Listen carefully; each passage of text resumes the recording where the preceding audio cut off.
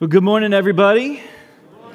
It's so good to see all of you here today on this beautiful, beautiful day. Before I, I jump into the message, there's just a, a, a, quick little plea that I, I would like to, to make to you all, real quick. There, we're, we're in the middle of a kind of a good problem right now here as a church. Um, two of the last three weeks have been two of the biggest kids' ministry attendances that we have ever had. Like we've had well over 100 kids uh, on Sunday mornings, the, the two, two of the last three weeks. Um, and I, I, know that there are certain situations that cause volunteering to be more difficult from time to time. You guys know where I'm going with this.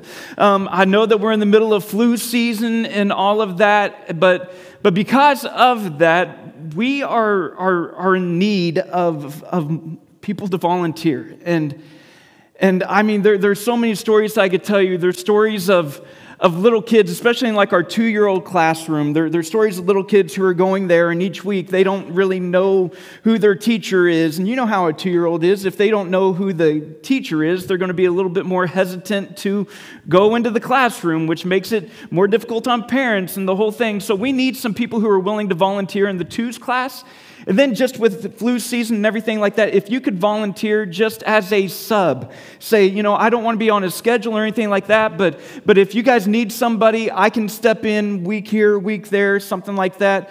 Um, we, we, we need it, man. We are so excited about having all these kids show up, but we want to make sure, like, we, we, the classes are, are bursting at the seams. And I'm guessing, I, I'm guessing that, that if you're a parent here, in some way, shape, or form, our kids' ministry has been able to bless you.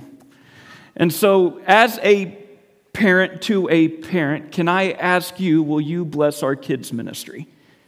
Will you go ahead and sign up and volunteer and help us in that way? If you're interested in that, please take the Connect card from the seat back in front of you. Just write Kids Ministry in the prayer request line or somewhere on there. Put your name, your contact information, and we'll reach out to you guys because we want to make sure that we're able to, to, to serve all the people that the Lord is allowing to us to steward in, in, in this time. So, anyway, let's pray.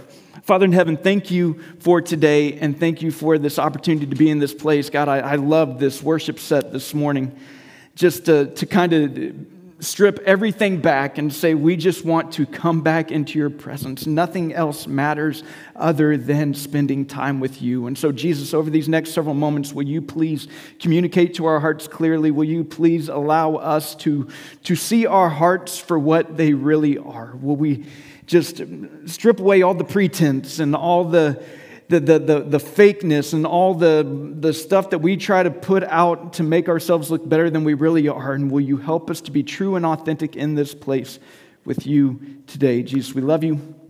It's your name we pray. Amen. So there's a, a pretty familiar text um, in 1 Samuel chapter 16, and, and it really just kind of explains the difference in the way that God sees people from the way that we tend to see people. You, a little bit of background is, is, is um, Saul has been the, the, the first king of Israel but he has been rejected by God. And, and, and because he has been rejected by God, the prophet Samuel has been tasked to go and, and, and find the new king, to anoint the new king. And so Samuel is sent to the house of Jesse in Bethlehem, and, and, and, he shows up and he lets Jesse know what he's there to do. And, and all of a sudden, Jesse begins to bring in his sons, starting with the oldest. And man, these are, are big boys, these are strong, handsome boys, these are impressive young men. It's the kind of person that Samuel would look at and say, Now, this person looks kingly.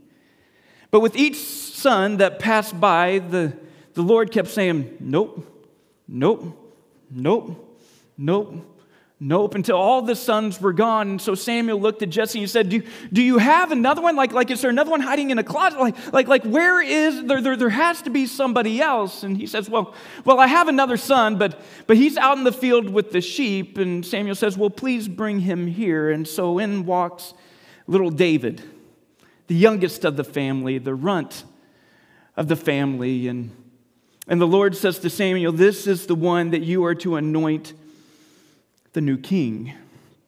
But throughout this process, as Samuel is getting caught up in just the appearance of these, these big, strong men who would make impressive kings, the, the Lord said something that has become a pretty familiar text. Maybe some of you are familiar with this in 1 Samuel chapter 16, verse 7. The Lord said to Samuel, Do not consider his appearance or his height, for I have rejected him.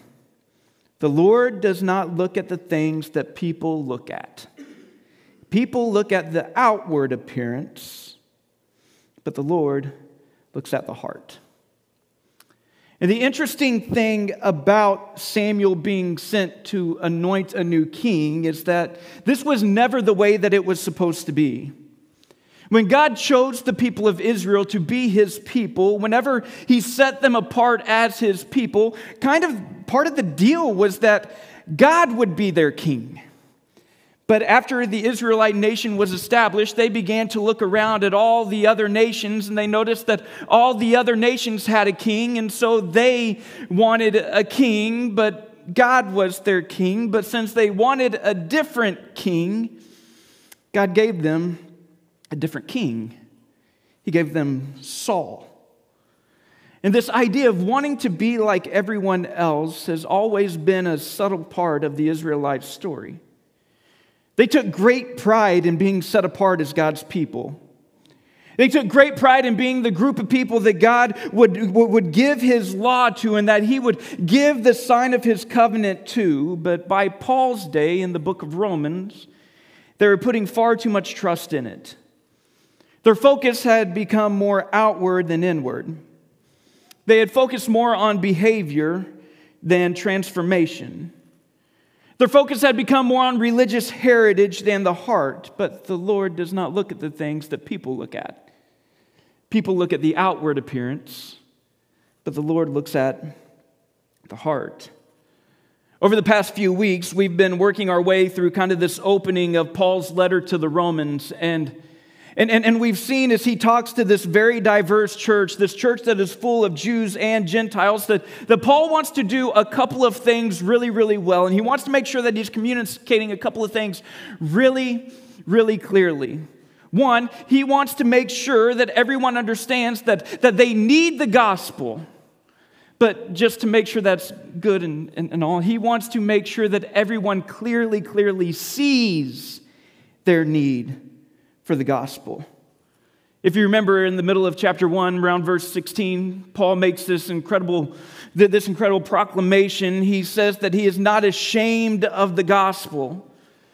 But as soon as those words come flowing out of Paul's heart, he changes direction and he changes his tone and he, he goes in, in a completely new way. And he, he essentially says that there are two groups of people at play here. There are two groups of people that, that exist in our world. You, you have the unrighteous, who in Paul's context would have been the Gentiles, those who were outside of the church. But then you have the self righteous, who in Paul's context would have been the Jewish people, it would have been the religious people. And toward the end of chapter one, Paul focuses on the thems and the theys, the, all of those who are outside of the church, on all of those who are unrighteous. And he says things like this that, that, that they suppress the truth, that they are idolaters, that they are sexually immoral, that they have a depraved mind, and that they are full of every kind of wickedness, that they are full of envy and deceit, that they are, are gossips and God haters, that they are arrogant and boastful, that they invent ways of doing evil, that they disobey their parents. And not only do they do these things, but they are proud of it. And then in chapter 2, just as Paul's religious audience is probably starting to feel kind of good about themselves as they just heard Paul go on this rant towards all of the thems and the theys and those who are not religious and those who are not in the church, Paul turns his attention on, on those who are inside of the church. And he says that, that you, you religious people, that you judge others, but, but when you judge others, you actually do the same things.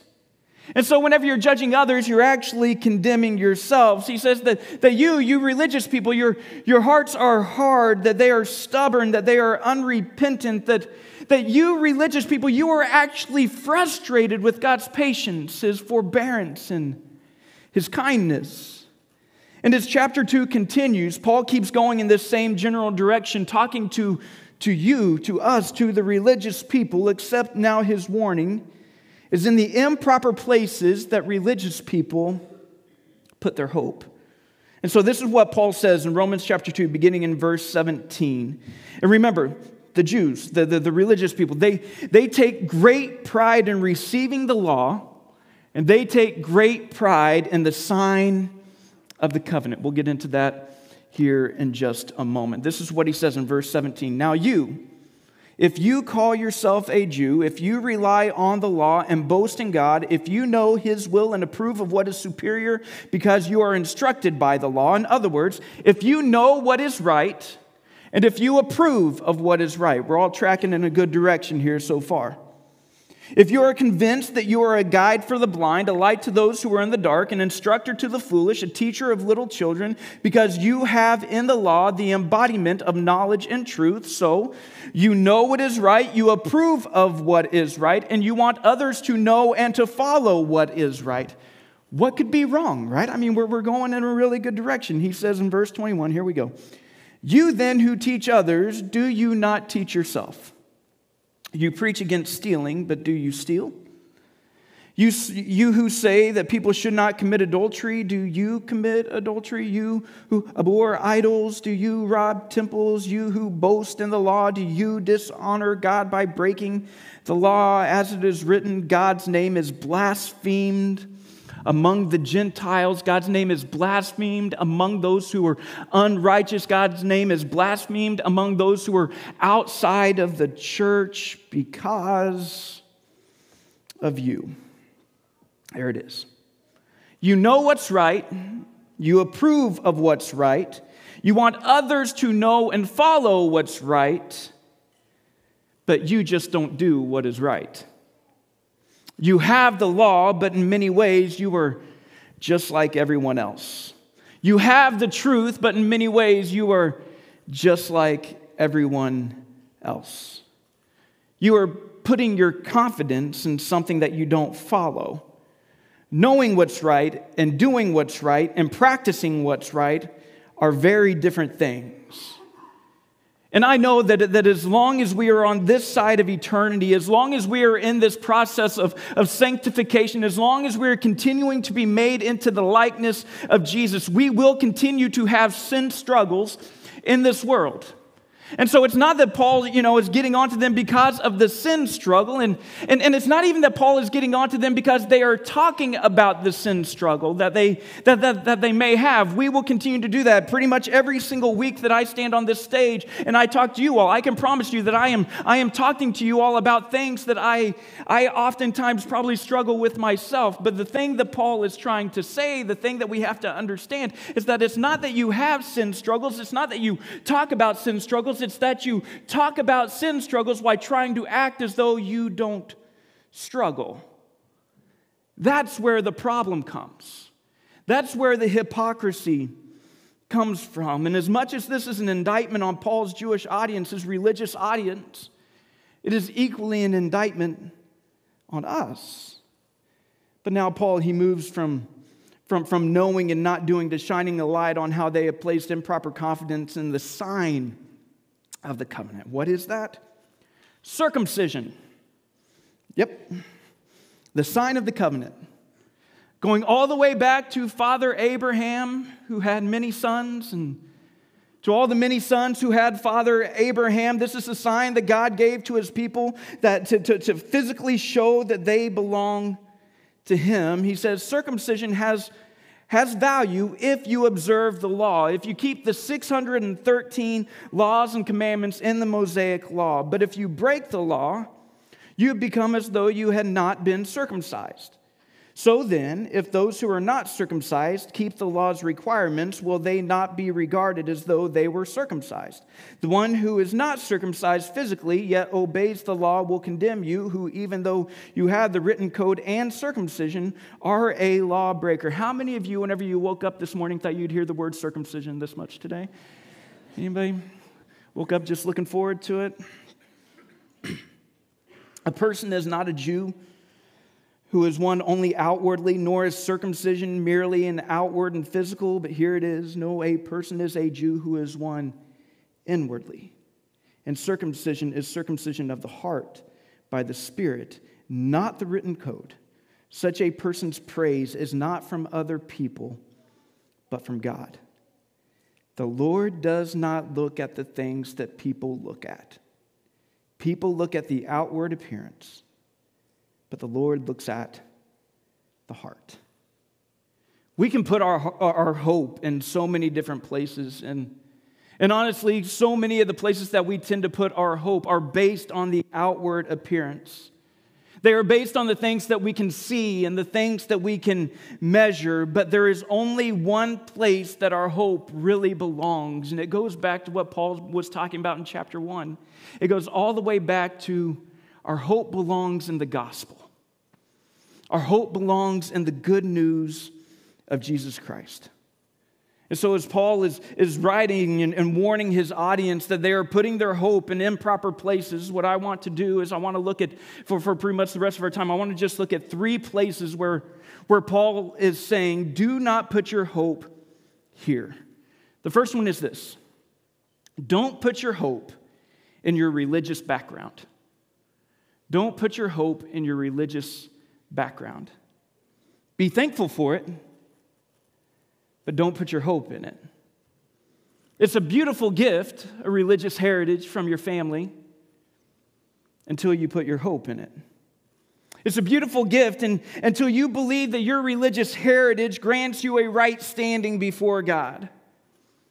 Parents and grandparents who, who love the Lord and who teach their family about the goodness of Jesus is one of the most precious gifts that a child could ever receive being raised in the church and being taught how to pray, being taught how to study scripture. Again, it is a beautiful gift, but none of these things mean anything if you don't make your faith your own. Your parents' faith will not get you a right standing before Jesus on Judgment Day. Your grandparents' Bible will not get you a right standing before Jesus on Judgment Day. And so let me ask you a couple of questions, and I hope that you can really just try and look internally whenever, whenever I ask you these questions. But, but I, I, I'm just curious when, when was the last time, when was the last time that you really prayed on your own? Not at dinner time, not, you know, just at bed, you know, that, that Jesus, thank you for today kind of thing. And it's not that there's anything wrong with those prayers at all, but, but when was the last time that you really, really prayed? You stopped everything and you just acknowledged the presence of God around you. When was the last time that you really, really prayed on your own? When was the last time that, that you really had a hunger to study Scripture on your own? Not because you were just going through a Bible study, but basically you woke up and it's like, I cannot make it another minute without opening up the Word of God. When was the last time that you experienced something like that on your own? When was the last time that you worshiped on your own? Maybe it's through singing. Maybe it's through just sitting and, and quiet. Maybe it's through right, taking out a piece of paper and just starting to jot down your thoughts. Maybe it's, it's just taking a ride in the car in the countryside and listening to praise and worship music. When was the last time that, that, that you just stopped and you, you, you just basked in the presence of God and you allowed His presence to just kind of wash over you on your own? Your faith must be your faith. The gift of faith from a family, again, it is a, a beautiful gift, but, but a relationship with Jesus has to be your decision. Probably one of the most common questions that we get asked around here, maybe that's a little bit of hyperbole, but we get asked it a lot. One of the questions that we get asked a lot around here, probably should have just said that from the beginning. It, it, it goes something like, like, like this. So, so I was baptized as a baby, or, or I was baptized whenever I was really young. Normally starts off something like that. I was baptized whenever I was really young, but whenever I look back on it, I don't think that I was baptized because I wanted to be baptized. I think that I was baptized because, because my parents wanted me to be baptized. I think I was baptized because I saw all of my friends getting baptized. I, you know, I, I, I was baptized because I wanted to be the youngest person in my family who was baptized. You know, you have all these reasons, and, but, but, but, but it wasn't really because you had made a decision. And so the question is, that we get asked often is do so do I need to be baptized again? And this is such an important question because the same way that circumcision was the sign of the covenant in the old, the, eh, for, for the old covenant, baptism and the Lord's Supper are the sign of the covenant in the new covenant. And so, if you've ever asked those questions, if I could just for a moment try and encourage you, can, can, can, can I encourage you at least to make sure that the decision that you have made has been your decision? Can I encourage you to personalize that decision, to internalize that decision? Can I encourage you to make it your decision? And I hope that you hear this because I'm not saying that, that, that the way you were raised was wrong. Be so incredibly thankful for the family that you've had. Be so incredibly thankful for the way that you were raised, for the things that have been passed down to you. But I just want you to make sure that your faith is your own. And we're going to get into this a little bit more here in a couple of months because Paul in Romans chapter 6, he just dives straight into baptism. And, and so we will dive into baptism whenever we get to Romans chapter 6. And in fact, the first Sunday of May, we're going to have a baptism Sunday as we talk about what Paul talks about with baptism. And so over these next couple of months, can I just encourage you, can I ask you, will you ask yourself those questions? Is my faith my own? Have I put my faith in Jesus personally on my own? The second thing where Paul would say, don't put your hope is don't put your hope in what others can see. Just because you look good on the outside doesn't mean that things are good on the inside. It means that maybe we are really good at modifying our behavior. It means that maybe we, we are really good at putting filters over our heart where, where it catches all the messed up stuff that's coming out of our heart before it makes its way out of our mouth or out of our actions. We can fool a lot of people for a really long time.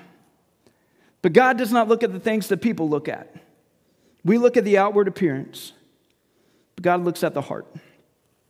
As you go throughout Jesus' ministry, there's this one group of people that, that he probably had more attention with than, than any other group of people. And they were a group of people that they looked so, so good on the outside. I mean, they were some of the most moral people to ever walk on this planet. They took the 613 laws in the law of Moses and said, Yeah, that's, that's nice, Moses, but that's not good enough. We need a little bit more here. And so we're going to take this law and we're going to add more laws to it so that way we can have guardrails to make sure that we're not getting anywhere near breaking the law. It was a group who were known as the Pharisees. And I know in the church the Pharisees get such a bad reputation. But whenever you look at the Pharisees, they were a moral, moral group of people, and there were some who did a lot of good things in their morality. You have people like Nicodemus, and you have Paul who, who continued to, to claim to be a Pharisee even after he, he followed Jesus. You, you, you, you have this, but, but many of these religious and, and moral leaders were the people that Jesus saved his harshest rebukes for.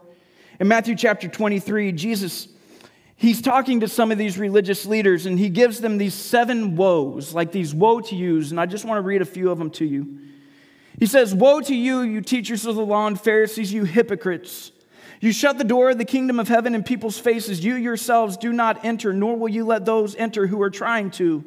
Woe to you, teachers of the law and Pharisees, you hypocrites! You travel over land and sea to win a single convert, and when you have succeeded, you make them twice as much a child of hell as you are. Whoa. Woe to you, you teachers of the law and Pharisees, you hypocrites. You clean the outside of the dish. You make sure that you look good on the outside, but the inside you're full of greed and self indulgence. You blind Pharisees, first clean the inside of the dish, and then the outside will also be clean. Woe to you, you teachers of the law and Pharisees, you hypocrites. You are like whitewashed tombs, which are beautiful on the outside, but on the inside you are full of, of bones of the dead and everything unclean. In the same way, on the outside you appear to people as righteous, but on the inside you're full of hypocrisy and wickedness. In, in chapter three, 23, verse 5, he says this about them. He says, Everything that they do is done for people to see. And whenever he's talking to the crowd around them, this is what he says about the Pharisees. He says, So you must be careful to do everything they tell you, but do not do what they do for they do not practice what they preach. Some of Jesus' harshest words were, were reserved for those who wanted to look better than they really were. And then it's a warning that has to be passed along to us as well today. But whenever you look at this warning, this is this warning sign is actually just like one of the most beautiful pictures of, of a way that Jesus cares and loves for us.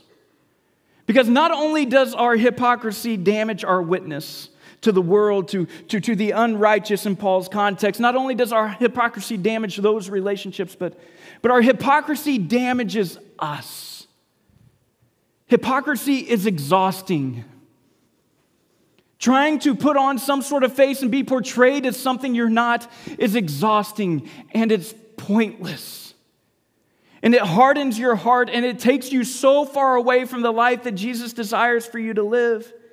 And so Jesus warns us instead of spending our time, time trying to look better than we really are on the outside, instead, he invites us to be authentic and to spend more time with him and to allow his spirit to transform us on the inside. The third place that Paul says, don't put your hope, is very simply, don't put your hope in your theological knowledge. Don't confuse knowing about with knowing. There's a very real difference in knowledge and intimacy. I can tell you all about Patrick Mahomes, but I do not know Patrick Mahomes. There's a very real difference in knowing about and knowing. And again, Jesus, he hit on this during the Sermon on the Mount with these eye opening words. We've read these here before, and I never really loved reading them, but man, they are so, so powerful. Jesus says, Not everyone who says to me, Lord, Lord, will enter the kingdom of heaven, but only the one who does the will of my Father who is in heaven. Many will say to me on that day, Lord, Lord, did we not prophesy in your name and in your name drive out demons and in your name perform many miracles? And then Jesus says, I will tell them plainly, I never knew you. Away from me, you evil doers. The Lord does not look at the things that people look at. People look at the outward appearance, but the Lord looks at the heart. And so, this is what Paul is communicating to these Roman Christians. Yes, some of you, you, you know the law. You know what's right and you know what's wrong. You've been raised to know about God's character and his purpose, and that's great. That's a beautiful gift. But don't you dare think that that means you are superior to those who didn't have those things. For us, some of you were raised going to church, to youth group, to VBS or Awanas. You've been to CIY and you've made decisions at church camp. And that's beautiful. But don't you dare put your hope in that.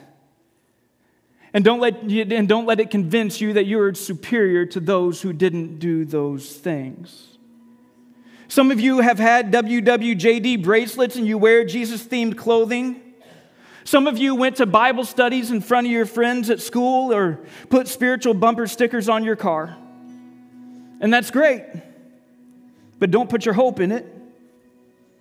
And don't let it convince you that you're superior to those who don't do those things. Some of you can recite all 66 books of the Bible. You have done Bible drills. You go to multiple Bible studies a week. You rarely miss a Sunday. You tithe. You volunteer. And we appreciate it but don't put your hope in it.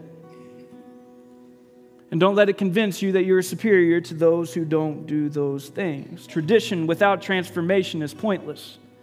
Moral behavior without a transformed heart is pointless. Knowledge without application is pointless. Religion without a relationship is pointless. External acts of righteousness do not equal internal transformation. Until we allow the Holy Spirit to transform our hearts, we will never experience the life that Jesus desires for us to live or the freedom that He desires for us to experience.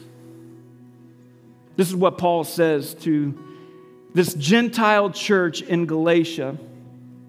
They had a bunch of people who were trying to force them to, to begin to follow the law, to, to essentially make themselves Jewish. And this is what Paul tells them. He says, It is for freedom that Christ has set us free.